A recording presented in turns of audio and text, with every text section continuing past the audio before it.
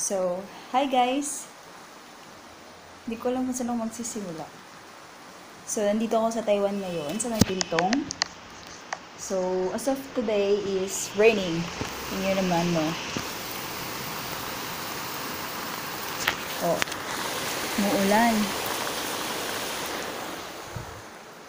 Aga ko nagising kanina.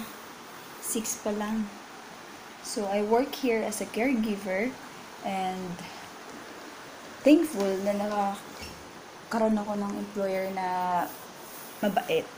But, the patient na si Akong, hindi kami magkasundo kasi Taiwanese yung words niya eh, so hindi ako marunong mag-Taiwan. Um, still, 我会是学习中文，还有我的中文不太好，so I'm not good in it. Chinese words either.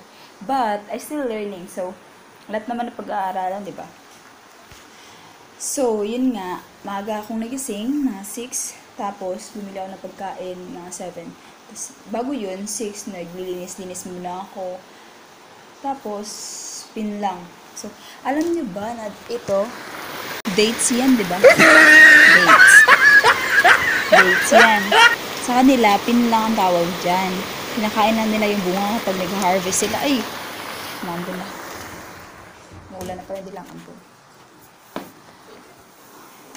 Tapos, pagka umaga, bumibili ako ng pagkain namin.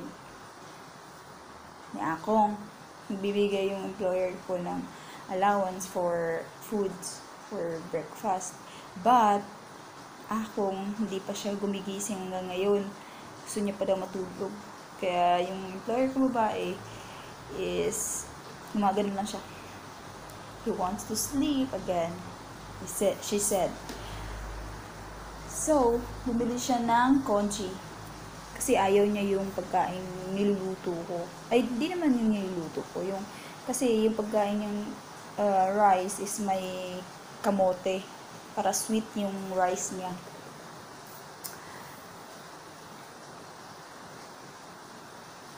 So, lag. Tinakpan ko na yun. Nasa kwarto lang ako kasi. Tapos ko lang maglinis. Nagsaing na rin ako.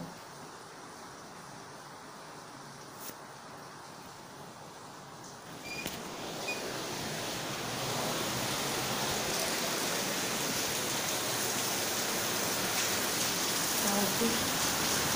Maulan. Sobrang ulan. Hmm. Sobrang ulan. Dahil ng amo ko.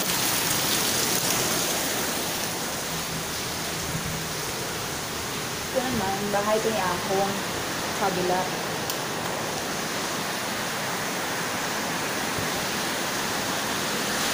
Ano, nandyan pa yung bulaklak ni Ama. Kasi mga mga 3 2 to 3 weeks pa yan matatanggal. Kakalibing lang kasi ni Ama. Cremate pa lang, cremate. Grabe, sobrang ulan.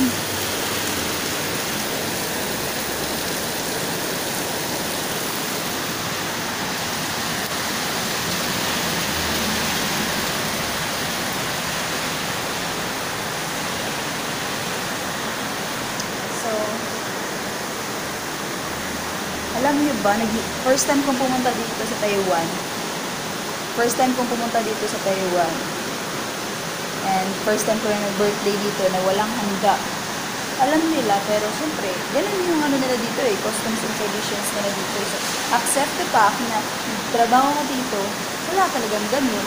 Kahit mag-New Year, bagong taon, Pasko, wala talaga.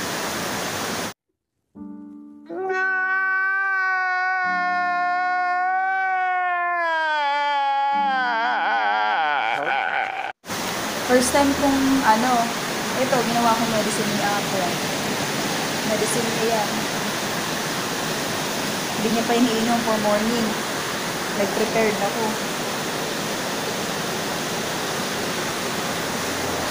So, ayun. Sobrang ulan.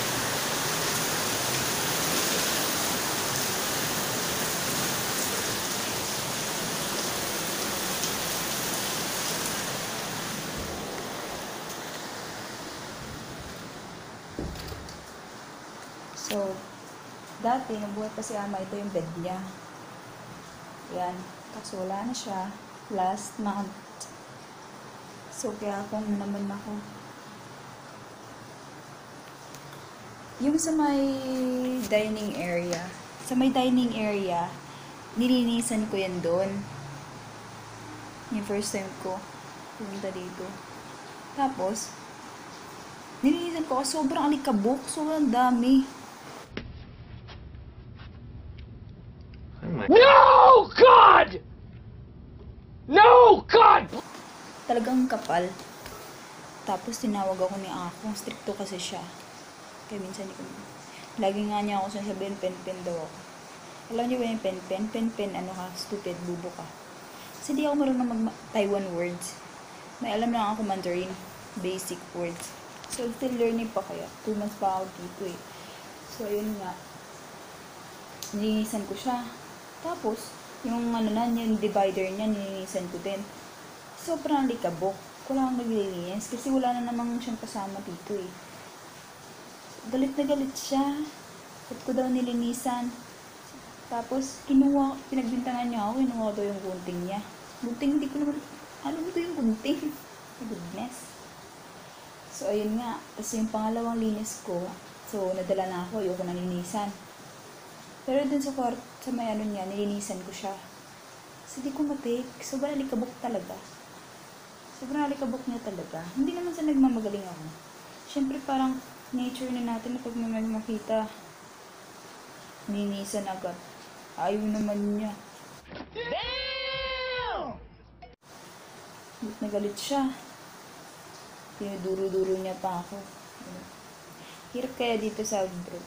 Dati-dati niisip ko lang, ano kaya ang buhay sa abroad, no? Yung mga nag-abroad. Yung iba, nagpapatiwakal, depression, stress, homesick. Naranasan ko na lahat. Tapos, tapos, ang first time ko dito, naranasan ko na hanggang ngayon. Pero, syempre, still, nag-a-adapt pa ako sa environment. Nia-adapt ko pa. So, working naman siya. Pag marami may, pag may makausap ka, hindi ka ma-homesick. Pero pag nag-iisa ka lang dito, my goodness, sobrang homesick te. Ayun.